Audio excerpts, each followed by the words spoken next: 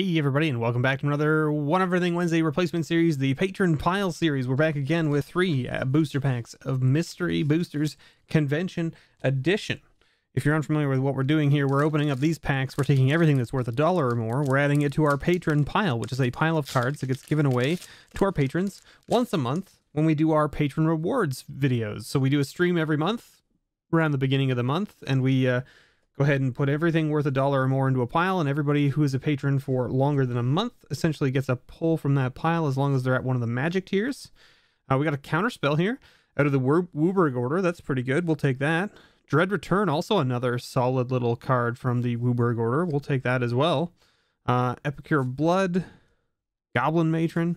So as you can see these come in WUBRG order. So you got uh, white blue black red green um, and then you have a multicolor card, I believe. Yeah, there we go. Underworld Coinsmith. Great from the original Theros block. And then you get a colorless card. So in this case, we got a Millikin. Very nice.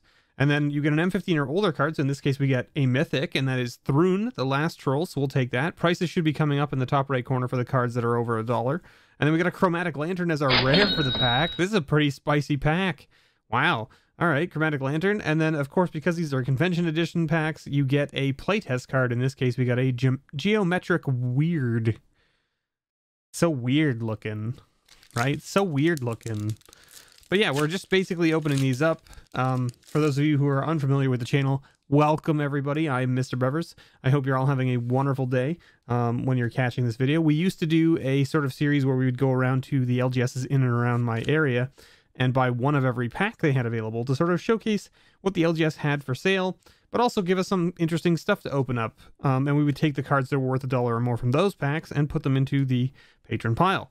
Um, when the pandemic hit, we sort of stopped doing that because, you know, uh, stores were not really open anymore so much as they were doing kind of by appointment only. We got a Bloodbraid Elf here, uh, definitely over a dollar. We'll take that. An Arcane Sanctum. Uh, this is the Esper one. Uh, I can never remember which of these sanctums are worth over a dollar. Some of them are, some of them aren't. But anyway, we'll put it down here. We got a Nemesis of Reason as well as our M15 or older card. Great. Solid little card as well. We'll take that. And our rare for the pack is a Trading Post.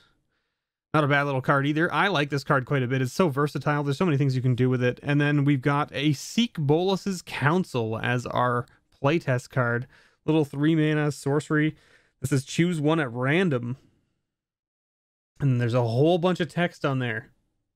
There's what, one, two, three, four, five, six options, and you get one at random.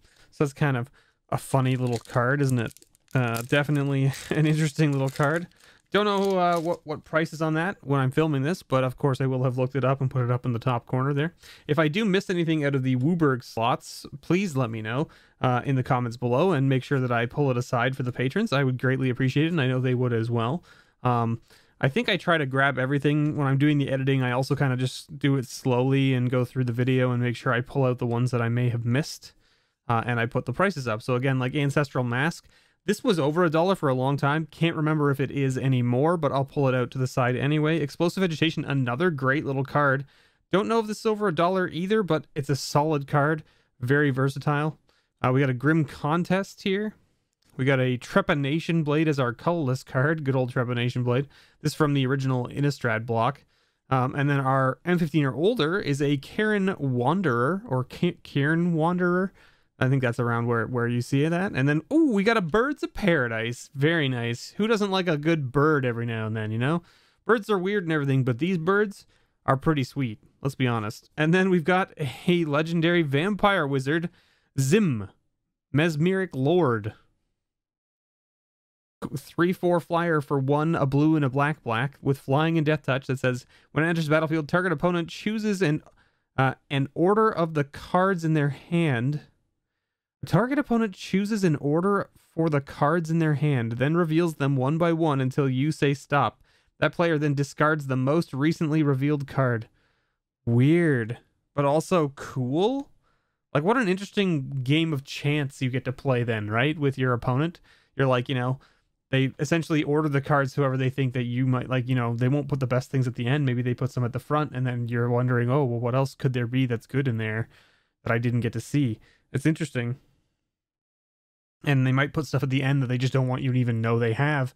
It could be like, you know, a common removal spell or something, but just like something that they don't want you to know they have. So they put it at the end so that you throw, throw out their big bomb. Like they know they have a card that you're going to make them discard, they'll put that like near the front because then they show that first and then you either say yes or no and they either get to keep the big bomb if you if you continue or you don't get to see any of the rest of the stuff in their hand. Interesting.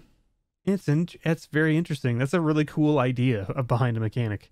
So there you have it, everybody. Thanks so much for watching. I've been your host, Mr. Bevers. Uh, if you want to get in on the Patreon action, go over to patreon.com slash Mr. Bevers, link below in the description, and you can sign up to one of the magic tiers and get yourself a grab bag and some of the pulls from the patron pile uh, once you get past your first month. So thanks so, so much, everyone. And as always, may your pulls ever be better.